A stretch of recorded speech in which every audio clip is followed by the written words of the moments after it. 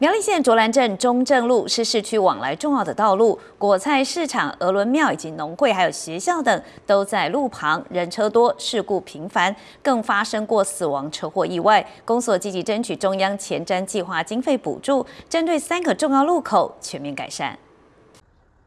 从省道台三线进入卓兰市区，不论是游客还是当地民众，一定都会经过中正路。一进入路口就是一个大瓶颈，不但有果菜市场运货的大货车要出入，夹杂一般车辆，旁边还有巷道人车，险象环生，成为卓兰镇公所计划重点改善的中正路第一个路口。好，我们有来做一些设施、交通设施的一些改善，还有我们路面的一个一个改善哈。那这个部分，我们包含我们增设我们的一个呃。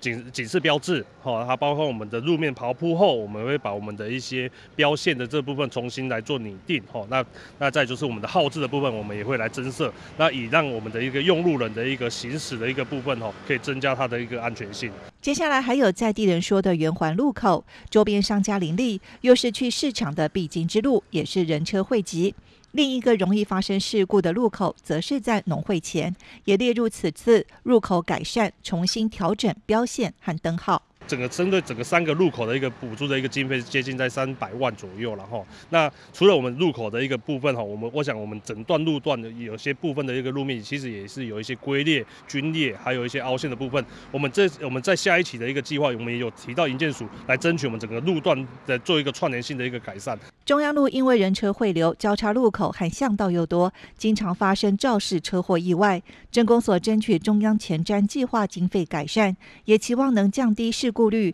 增加用路人安全。转正农会对面那个那个路口，那个路口常常发生车祸，有呃有这一礼拜发生了三次。后来我们就去哈，呃，营建署啊争取经费，现在已经发包出去了哦。呃，发包出去啊，我们嘛也就也设置了那个所有的红绿灯啦、斑马线那些哦，哦，应该应该应该设计的很完善了。相关路口改善工程已经展开，道路上已用红漆标示改善区域路段。施工期间，公所也提醒民众配合相关交通管制措施。